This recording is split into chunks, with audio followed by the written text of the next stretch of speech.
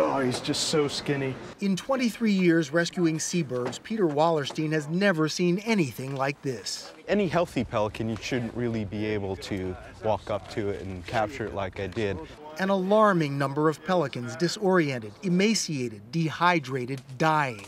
In the last few weeks, more than 250 dead or dying pelicans spotted from Oregon to Baja, Mexico. The lucky ones end up at this rescue center near Los Angeles.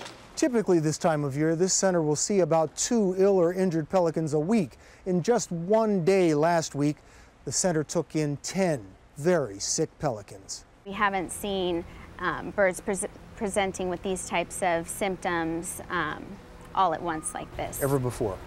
No.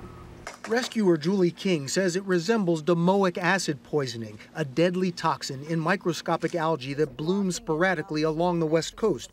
We went out with scientists during the last major bloom two years ago.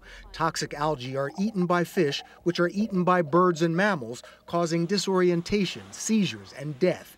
I would be fairly confident in saying that it that is probably the cause of what we're seeing now. The likely cause found, but with no way to stop it, the effect is still devastating. Bill Whitaker, CBS News, San Pedro, California.